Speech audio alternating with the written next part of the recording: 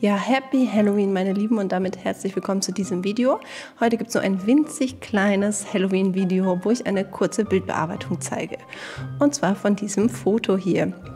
Ja, das hatten wir vor einem Jahr im Europapark aufgenommen mit der Europapark Halloween-Deko. Man sieht da Michelle im schwarzen Kleid mit einer riesigen Spinne. Und ich dachte mir, ähm, am 31. Oktober um 15 Uhr. Ich mache jetzt ganz kurz ein Video, wie ich dieses Bild bearbeite und hier sieht man auch schon den Anfang. Ich habe mit KI angefangen, die einzelnen Elemente auszutauschen und den Hintergrund auszutauschen und ich dachte einfach, was kann ich in einer Stunde Bildbearbeitung erreichen? Und hier seht ihr dann in diesem Video eine Stunde Bildbearbeitung. Wie ihr seht, habe ich erstmal den Kleinkram überall mit äh, KI weggemacht und hier und da ein bisschen ausprobiert, zum Beispiel diesen Kürbis mit Gesicht, was mir aber dann nicht so gefallen hat. Dann habe ich den Boden ein paar Mal ausgetauscht in so einem matschigen Boden und dann dieses Loch da gefüllt dann habe ich einmal versucht, so Halloween-Kürbisse einzubauen. Die haben mir dann aber nachher, wie ihr seht, doch nicht so gut gefallen. Habe ich es aber erstmal gelassen und dann habe ich äh, das ganze Bild etwas abgedunkelt, wie ihr es hier sehen könnt. Und bin dann praktisch mit einer Maske hingegangen und habe das wieder in den Origin Originalzustand aufgehellt. Und zwar, als würde das Licht von links oben kommen, weil ich finde, im Original sieht es auch ein bisschen so aus, als würde das Licht von links oben kommen. So, so weit, so gut. Dann habe ich eine neue Farbebene angelegt und zwar in so einem hellblau Babyton und habe dann jeweils immer so eine Auswahl gemacht und der Auswahl entlang äh, gezeichnet. Also beziehungsweise die Maske umgedreht, dann der Auswahl entlang gezeichnet, um eben so eine Kante beko zu bekommen. Wie ihr sehen könnt, ja. Also das heißt, man nimmt die Farbebene, macht eine Maske, macht die Maske komplett auf schwarz und dann malt man Auswahlen rein, zum Beispiel mit der Maus oder mit dem Pen-Tool und macht dann jede Kante so ein bisschen heller.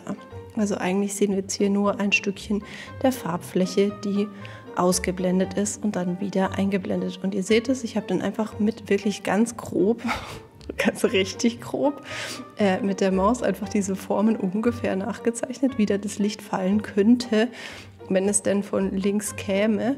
Und habe da einfach grob mal hingekrisselt, wie der Lichtfall, Lichtfall sein könnte. Ja, und dann muss das Licht ja auch irgendwo herkommen. Deshalb habe ich so eine Art äh, Lichtquelle hingemalt und die Michelle hat auch noch eine leichte Lichtkante bekommen und zwar am Kleid und auch am Arm. Also es ist wirklich super easy. Einfach eine Farbfläche nehmen, Maske drauf, umdrehen und dann einfach mit Weiß wieder reinmalen. Und damit man eben diese harten Lichtkanten bekommt, habe ich immer eine Auswahl vorher gemalt, bevor ich reingemalt habe. Ja, und dann auch noch ein paar Bäume angemalt, damit wir eben überall dieses stimmige Licht von links oben haben. Ja, dann habe ich gedacht, hey, die Spinne hat noch leuchtende Augen, das finde ich auch noch cool. Dann habe ich so ein ähnliches Prinzip wieder gemacht. Also eine Farbebene, Maske gemacht, alles ausgeblendet und dann wieder mit den Auswahlkanten eingeblendet. Dann hat mir die Farbe nicht gefallen und ich habe es in Orange gemacht. Ja, so weit, so gut. Dann habe ich noch mit dem Dutch and Burn, also beziehungsweise insgesamt alles abgedunkelt und ähm, mit dem Camera Raw Filter noch ein bisschen die Farben angepasst, wie ihr hier sehen könnt. Und dann dachte ich, ich mache mit KI noch schnell so einen Mond rein, weil irgendwie dieser helle Blob irgendwie auch blöd aussieht. Und dann dachte ich, ah ja, ich mache noch ein paar Bäume vorne dran. Das hat aber nicht so gut funktioniert. Dann habe ich halt meine alten Bäume von vorher wieder rausgepackt. Die waren aber zu hell. Dann mit einem Pinsel kurz ein bisschen drüber gemalt. Und dann ist mir aufgefallen, aber dann müssen die anderen Bäume ja auch noch eine Lichtkante haben, die vorne dran stehen. Der Boden übrigens auch. Ja, und dann habe ich das ganze Bild mit KI nochmal ein bisschen erweitert und dann wollte ich noch so einen Nebel reinmachen, aber das hat irgendwie nicht ganz funktioniert. Dann habe ich so ein paar verschiedene andere Sachen ausprobiert. Hat mir auch nicht so gut gefallen. Und dann bin ich zu Envato Elements gegangen und habe mir einen Nebel runtergeladen und den habe ich dann eingeblendet. Ja, und so äh, sah dann mein Nebel aus. Den habe ich ein bisschen farblich angepasst. Und ja, hier sieht man das Vorherergebnis und hier sieht man das Nachher-Ergebnis gleich auftauchen. Genau. Das war jetzt eine Stunde äh, Bildbearbeitung, natürlich mit KI-Unterstützung, sonst wäre das nicht möglich gewesen.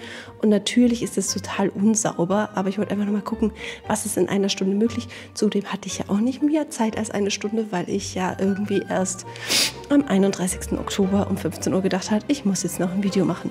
Also ich hoffe, dieses winzige Mini-Video hat euch gefallen. Wenn ihr Fragen, Wünsche, Anmerkungen oder sonst irgendwas habt, gerne in die Kommentare damit. Und sonst wünsche ich euch natürlich Happy Halloween und wir sehen uns im nächsten Video.